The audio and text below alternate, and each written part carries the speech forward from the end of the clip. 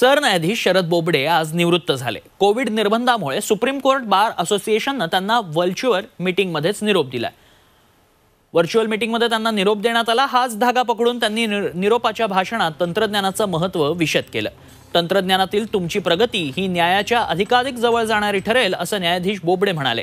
कोरोनाच्या काळात भारताच्या सुप्रीम कोर्टानं जगात सर्वोत्तम काम केलंय एवढी साथ असतानाही एकही दिवस कोर्ट बंद राहिलं नसल्याचा गौरवपूर्ण उल्लेख मावळत्या सरन्यायाधीशांनी केला आता न्यायाधीश एन व्ही रामण्णा देशाचे नवे सरन्यायाधीश असतील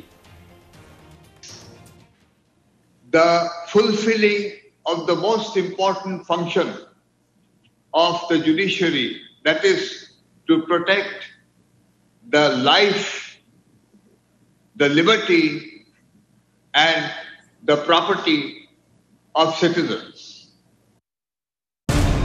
मराठ्यांची तळपती तलवार. म्हणजे?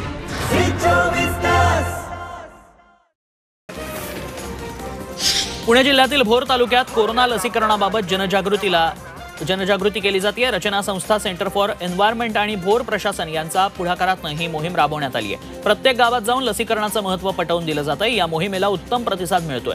नागरिकांमध्ये लसीकरणाबाबत असलेले गैरसमज दूर केले जात आहेत. कल्याण डोंबिवलीमध्ये आज लसीकरण बंद झाल्यानं नागरिक संतप्त झालेत. कल्याण पूर्वमधल्या प्रबोधन ठाकरे शाळेत लस घेण्यासाठी पहाटे चार वाजल्यापासून ज्येष्ठ नागरिक रांगेत उभे होते. मात्र लस उपलब्ध नसल्याचं सांगितल्यानंतर नागरिकांना परत जावं लागलं. मतं मागण्यासाठी घरापर्यंत येता मग लस द्यायला घरापर्यंत का येत नाही असा सवाल कल्याण डोंबिवलीकरांनी विचारला. मुंबईत लोकल ट्रेनमधून आणि बसमधून फक्त शासकीय वैद्यकीय सेवेतल्या कर्मचाऱ्यांना प्रवेश देण्यात आलाय. त्यामुळे इतर अत्यावश्यक सेवांमधल्या नागरिकांनी खासगी वाहनांमधून प्रवास सुरू केलाय. त्यामुळे शहरातील रस्त्यावरती वाहनांची वर्दळ आता पाहायला मिळतीये. ठाण्यात जांभळे नाका भागात आजही भाजी मार्केटमध्ये लोकांची गर्दी पाहायला मिळाली. आता मार्केटमध्ये येणाऱ्यांची अँटीजेन टेस्ट सुरू करण्यात आली आहे कोरोनाचे नियम पाळण्याचं आवाहन प्रशासनानं केलं आहे कडक लॉकडाऊन असतानाही धारावीमध्ये अनेक जण रस्त्यावरती विनाकारण फिरतायत. हाकेच्या अंतरावर पोलीस स्टेशन आहे पण पोलिसांचाही फारसा वचक दिसत नाही. लोक विनाकारण गर्दी करत असल्याचं चित्र काही ठिकाणी पाहायला मिळालं. राज्यात कडक लॉकडाऊन लागला असला तरी पिंपरी चिंचवड मधल्या रस्त्यांवरती गर्दी पाहायला मिळाली आहे. अनेक चौकांमध्ये पोलिसांचा बंदोबस्त पाहायला मिळत नाहीये तर काही ठिकाणी पोलीस असूनही कारवाई करण्याऐवजी गप्पा मारताना पाहायला मिळाल्या. कोरोनाचे नियम पाळण्याचं आवाहन प्रशासनानं केलंय.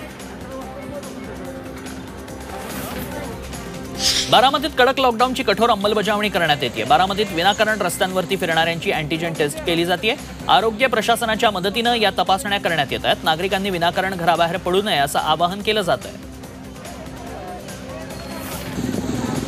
एकीकडे लॉकडाऊनची कडक अंमलबजावणी आणि दुसरीकडे विनाकारण फिरणाऱ्या नागरिकांची वर्दळ असं चित्र कोल्हापूर शहरात पाहायला मिळालं. त्यामुळे कोल्हापूरमध्ये रॅपिड अँटीजेन टेस्ट सुरू केल्या जात आहेत. विनाकारण रस्त्यावर फिरणाऱ्या नागरिकांवरती कारवाई सुरू करण्यात आली आहे.